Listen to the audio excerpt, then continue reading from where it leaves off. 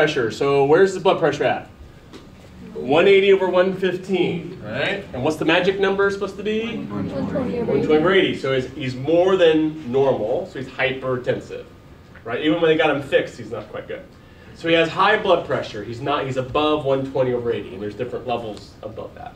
So we got to figure out these terms and what they have to do with his blood pressure. So we're going to go through and figure out what these terms have to do with everything by putting it on the board. So let's figure out these three things in question two. Let's start with the middle one. Elevated TPR from the case. What does TPR stand for? Total peripheral resistance. Total peripheral. It's resistance to blood flow. So total peripheral resistance is resisting blood flow. It's what makes his blood not want to flow. So over here, you're supposed to know all the reasons, things that affect TPR, the peripheral blood flow. There are going to be three of them we're going to talk about. Just to list them here.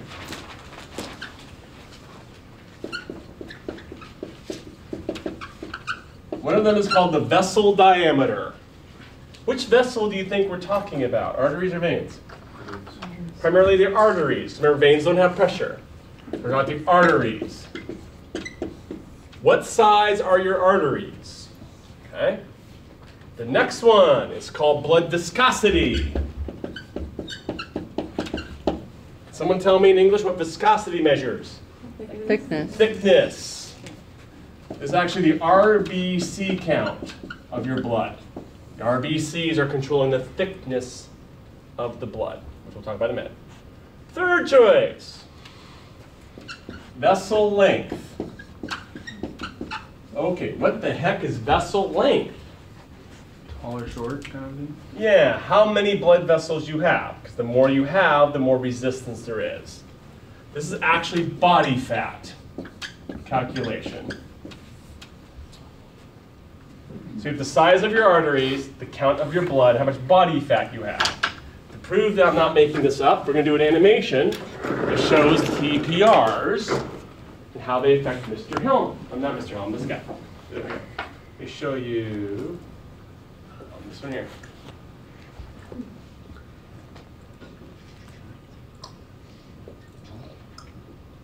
So here's a blood vessel, it's an artery. And I'm right now it's running at 120 as pressure. I can change its size. I can change its diameter by clicking this vasomotor nerve. I'm going to make it get smaller. What do you think is going to happen to the pressure if I make the pipes smaller with the same amount of blood in them? It should go up, right? The same as the heart. When I squeeze, pressure should climb. Let's see if that's true.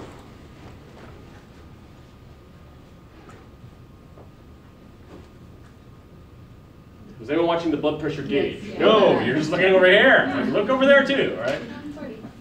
Smaller, went up to 140. Bigger, went down to 120. All right? So, now peripheral resistance, my arteries, if they get smaller, what should my resistance do? What will my pressure do? It Should go up. And if they get bigger or dilate, what should they do? I should decrease the blood pressure, decrease the resistance.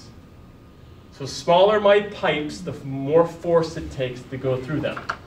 So I increase resistance by making them smaller, I decrease resistance by making them bigger. All right? So if you take vasoconstrictors, your blood vessels get smaller, pressure should climb, right? All right, let's see if that's true. Here's epinephrine, sympathetic nervous system. What does sympathetic nervous system do to your blood pressure? Increases Let's see how that works.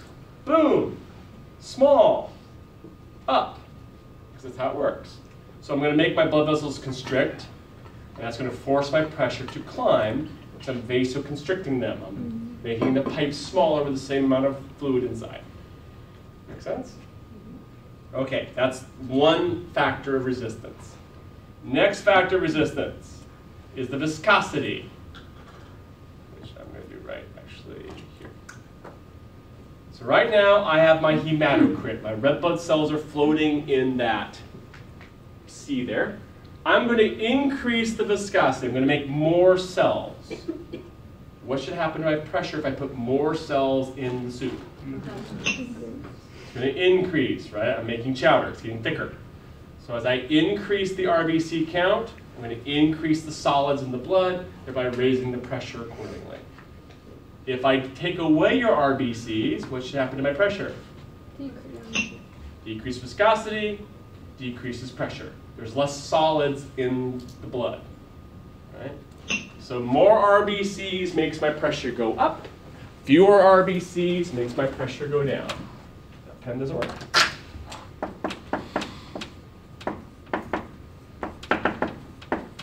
So more RBCs makes my pressure climb. Fewer RBCs, my pressure goes down because I'm making it thicker or not thicker, aka thinner. Make sense? So I have the size of the tubes, the amount of cells in the, the plasma. Let's do one more. Vessel length, I said was body fat, right? Let's do that.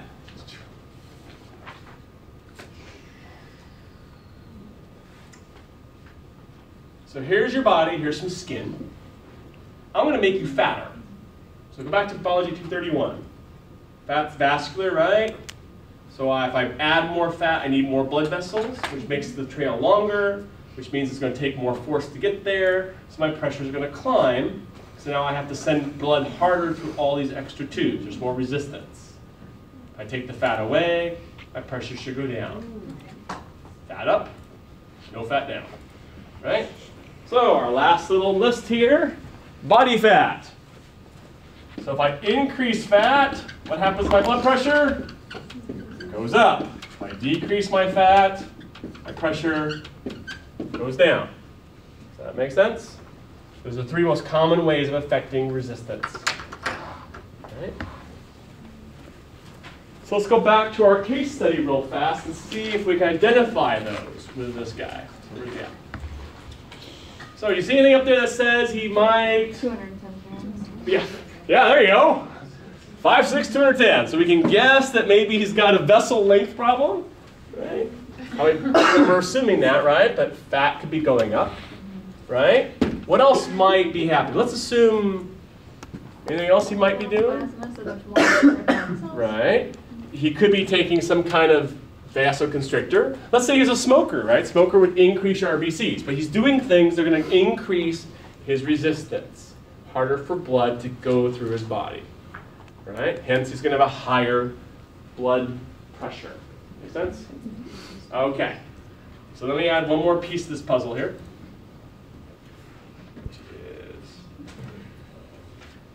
Okay, normal person on the left, my triple whopper with cheese, right there on the right. What happened to my blood pressure in the person on the right? Or the, why'd it go up? It's just a triple whopper cheese, what's wrong with it? Okay, so if you look at what happened, if I get plaque buildup on my artery wall, the artery's getting smaller, right? What happens when I make my tube smaller? Let's see, constriction, blood pressure begins to climb, right? And let's say, you know, I'm not eating well, I could be gaining body fat, which also makes it climb. So if you're not checking your blood pressure, you could have things building up in your arteries, and you wouldn't know it, because the way you tell that is your blood pressure climbs because the pipes are getting smaller because your cheeseburger's right there. Yes? Is that also showing that it, does it like eddy after the? Yeah, you get a turbulence afterwards. Mm-hmm. Right, because it makes an obstruction, so it, mm. not only do you get the higher pressure, but you get bad, what they call kind of a turbulence in the system. Would it cause it to bulge more at that? Yeah, and then you can get some kind of aneurysm over on this side because of the pressure. So the idea is if you, if you get more resistance, you're going to see your pressure climb because it's harder for the blood to get through all that stuff. All right? Let me show you a real life, kind of real life picture. Right? So, here's an artery for someone. And then here's an artery. What do you notice different about the one on the right than the left? Seems clogged. Well, it's a little bit bigger, yes. But look at all this. Look at this stuff. That doesn't seem like it should be there, is it? It's called occlusion, right? I'm filling up my arteries with crud. Plaque, cholesterol, trans fat. whatever. So now I'm building up stuff within my vessel walls, therefore my vessel's getting smaller. So let's look at this person. Oh my. Tell me where the blood is. Very, very small spot. Over here. If that was going to some body part that was important, you're not getting much blood. And what would your pressure have to do to get it through that hole? You have to go sky high, right? So again, blood pressure tells the doctor a lot about what the piping's like because pressure goes up if the pipes get small. The only reason they get small is bad stuff, right? Normally, right? So this person's on their way to die because you're going to have a harder time getting blood to that organ and the pressure's going to be sky high anyway, right? What's so in our case study, this man has high blood pressure, which implies that he's starting to increase resistance. So his elevated TPR is because he's occluding his pipes and all that. So let's figure out these other two then. Can someone tell me what plasma renin is? That's my job. Let's make a list over here.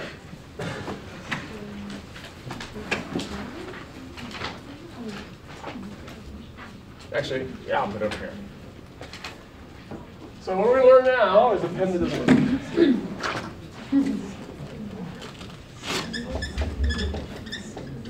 understand renin, we have to learn how you're going to regulate your blood pressure.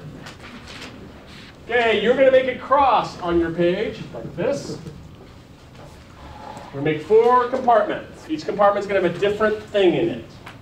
Okay? So, this side of the board, we're going to do short-term regulation. This side of my cross is going to be short-term blood pressure regulation. We think the other side is going to be? Long-term regulation. Okay, so we have short-term and long-term blood pressure regulation. Each box is going to be a different problem. So over here we have an increase of blood pressure. So if my blood pressure is going up, this one's going to be if it's going down. Short term. Can anyone guess what these two are going to be? Same thing, but long term. So we're going to see what happens if I have high blood pressure or low, short term versus long term. And we're going to fill this out. This is on your test next week. So short term, what would I use to control blood pressure in the short term, meaning minutes? What could my body use to deal with blood pressure? Pretty close. And how would I know to vasodilate?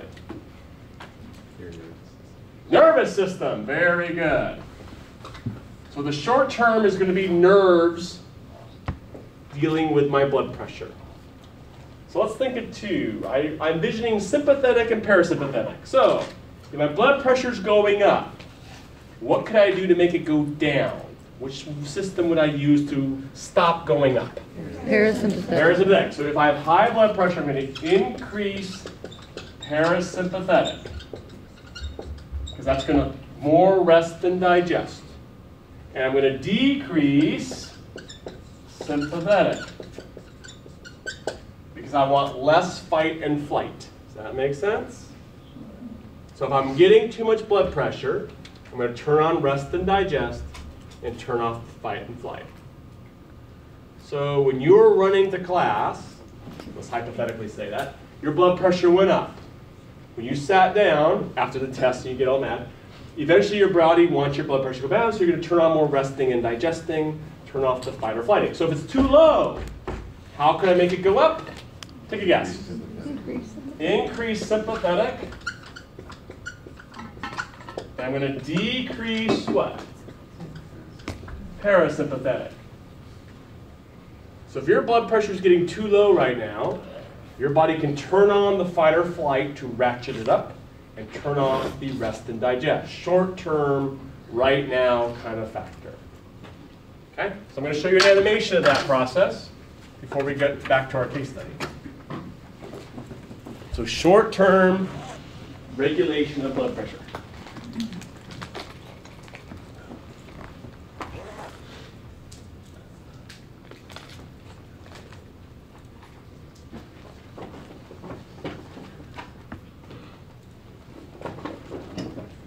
Be short-term regulation of rising blood pressure. So again, you, something happened, your blood pressure went up. You came to my class, you took a test, you're all freaked out. So my blood pressure's climbing. That's going to make my arteries get a little too stretched. My brain doesn't particularly like that. Right? Let's try that. So my blood pressure is now 160. My brain says that's not really good. I want it to go back down right now. My brain is going to try then telling my circulatory system to lower the pressure. So let's do that.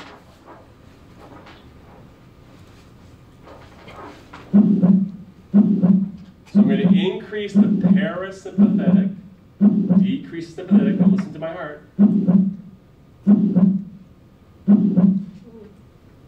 going to die here, right? It's going to slow down my heart rate, which should, which should sh- shut down my output somewhat and lower my pressure. Okay? Make sense? So I'm going to turn on more fight, uh, more rest and digest. So then if that's true, let's do the other way, which is my blood pressure's going down too much. I'm falling asleep. I'm going to faint, whatever. So my blood pressure goes down short term. I'm going to do the reverse. I'm going to turn on the sympathetic. So here's my lowering blood pressure. I'm going to die. So eventually my brain says this is not good. And we should start ordering the heart to go faster.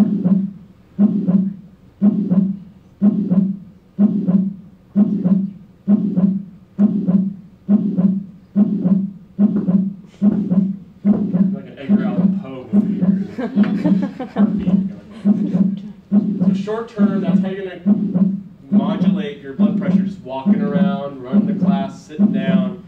Your nervous system will let you speed up, slow down. That's basically it. Make sense? Okay. So I'll zip here. So now we're going to do the long-term boxes, which I'll zip up here. Let's fill out the long-term boxes first. Ah. So if short-term or nervous system, can anyone guess what the long-term is going to be?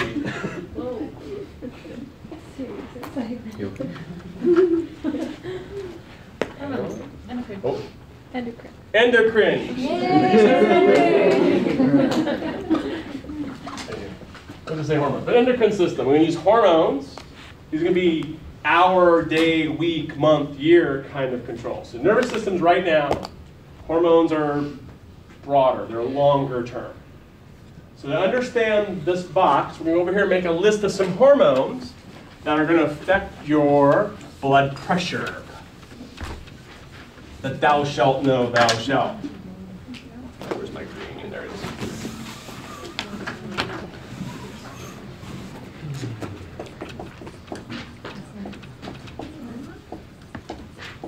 So we're making a list of